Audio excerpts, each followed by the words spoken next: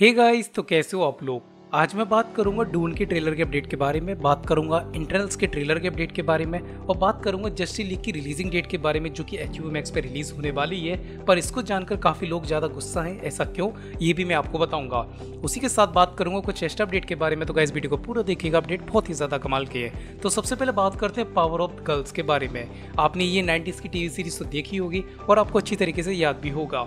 Update ये है कि सी डब्ल्यू ऑफिशियली काम कर रहा है, इसके एक लाइव एक्शन वर्जन पर। जी हाँ एक ऑफिशियली हमें मूवी देखने वाली है पावर ऑफ़ गर्ल्स की लाइव एक्शन जिसके सारे कैरेक्टर हमें लाइव एक्शन को देखने को मिलेंगे। तो गाइस मैं इसको जानकर काफ़ी ज़्यादा एक्साइटेड हूँ। उसी के साथ अब बात करते हैं नेक्स्ट अपडेट के बारे में, जो कि है रेसिन टेबल से रिलेटिव रेसिन टेबल का आपने मूवी देखी होगी गेम भी खेले होंगे, और प्रीवियसली मैंने रेसिन टेबल टू का एंडिंग करा है जो कि बहुत ही कमाल का गेम था, और ये रीमेक वर्जन है, जो कि आपको खेलना चाहिए, अगर आप रेसिन टेबल के फैंस हो।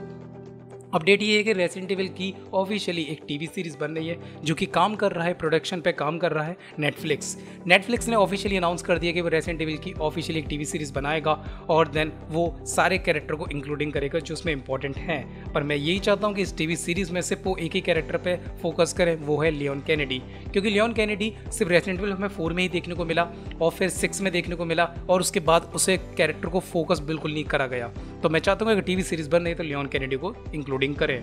उसी के साथ आप बात करते हैं स्टार वॉर्स के अपडेट के बारे में।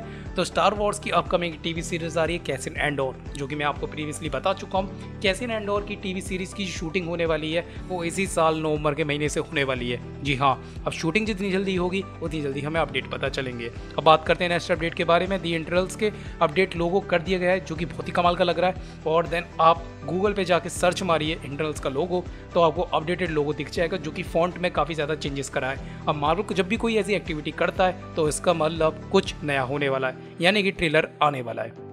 अब बात करते हैं जस्टिस लीग की रिलीजिंग डेट के बारे में, जो कि एच मैक्स पर नेक्स्ट ईयर 5 सितंबर को रिलीज़ होगी। अब ये एक रूमर है, कोई ऑफिशियली कंफर्म नहीं है, और मुझे नहीं लगता कि नेक्स्ट ईयर पाँच सितंबर को जस्टिस लीग इतना लेट रिलीज़ होगी। आपको क्या लगता है? कमेंट सेक्शन में ज़रूर बताना, और इसको जानकर लोग काफ़ी ज़्यादा गुस्सा है, एक तो इतना लेट रिलीज़ कर रहे हैं, और देन ये अच्छी बात नहीं है। उसी के साथ ओपन, मैं बिल्कुल एक नई सेट फुटेज देखने को मिली है बैट मोबाइल की, जो कि बहुत ज़्यादा अच्छी लग रही है। ओशन मास्टर कंफर्म हो चुके हैं एक्वामेंट टू में, जो कि पैट्रिक विल्सन कैरेक्टर प्ले करते हैं और उन्होंने खुद ही कंफर्म कराया कि वो एक्वामेंट टू में रिटर्न होंगे। कमांडर कोडी कंफर्म हो चुके हैं ओ इवेंट टीवी सीरीज़ में, जो कि स्टार वॉर्स की एक अपकमिंग टीवी सीरीज़ है। उसी के साथ डी एन जॉनसन ने कंफर्म कर दिया है कि हॉक गर्ल भी आपको ब्लैक एडम मूवी में देखने को मिलेंगी। जो कि बहुत ही कमाल की कैरेक्टर है और देन आपको ये वंडर मूवमेंट में भी देखने को मिलेगी।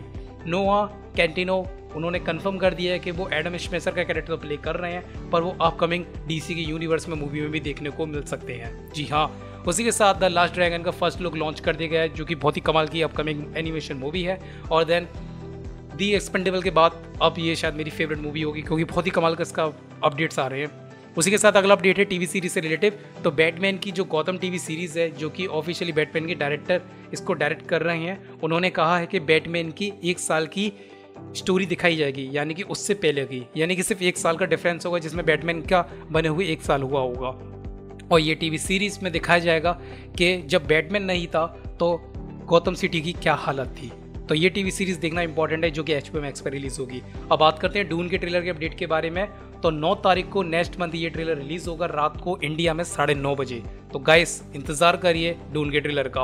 उसी के साथ बैरी कंफर्म हो चुके जो कि बैटमैन में ज्वाइन कर लिया है। अब कौन सा कैरेक्टर प्ले कर रहे हैं? अभी तक ऐसा कुछ अपडेट नहीं आया है। उसी के साथ सोसाइटी स्कॉट का एक नया पोस्टर रिलीज़ करा गया है, जिसमें कि सभी कैरेक्टर के फेसेस दिखाए गए हैं। तो जो कि बहुत ही ज़्यादा अच्छा लग रहा है, पर मैं चाहता हूँ एक ऑफिशियली पोस्टर रिलीज़ करा जाए, जिसमें कि सभी कैरेक्टर की कॉस्ट्यूम अच्छी तरीके से दिखाई जाए।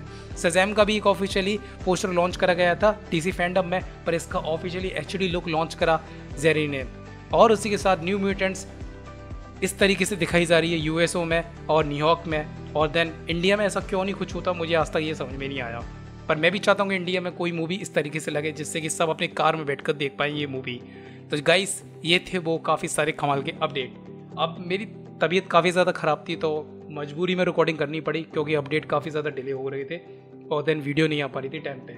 और देन कल की खबर सुन के तो सभी के होश ही उड़ गए और देन सभी मार्वल फैंस काफ़ी ज़्यादा गम में डूब गए थे। मेरे को तो काफ़ी ज़्यादा दुख हुआ ब्लैक पैंथर की न्यूज़ के लिए। तो गाइज़ आज के लिए बस इतना ही। अगर आपको ये वीडियो पसंद आता तो लाइक ज़रूर करना। और देन वीडियो में कोई भी अपडेट पसंद आए तो कमेंट सेक्शन में ज़रूर बताना। और देन कुछ भी समझ में ना आए तो वो भी मुझसे पूछ लीजिएगा, क्योंकि आज की रिकॉर्डिंग ज़्यादा अच्छी नहीं हो पाई। तो गाइज़ आज के लिए बस इतना ही। Thank you for watching this video bye